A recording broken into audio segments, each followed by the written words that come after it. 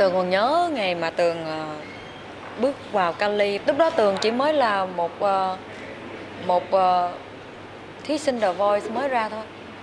Và chỉ là take a chance thôi. Mình cũng không biết là mình có được cái opportunity để mà họ đầu tư cho mình hay không.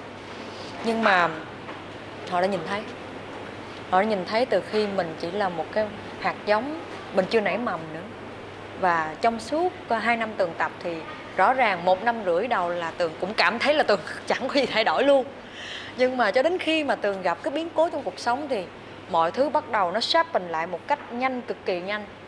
Từ đầu óc của tường, từ mọi thứ, từ ờ, body của tường thì 6 tháng cuối năm là từ tháng từng từng tính từ bắt đầu từ tháng 6 năm 2016 cho đến bây giờ là đâu đó hơn nửa năm một chút thì đó là một khoảng thời gian mà giống như là nó nó đã đưa tất cả mọi thứ tới điểm ờ, tới điểm ờ, turning point rồi.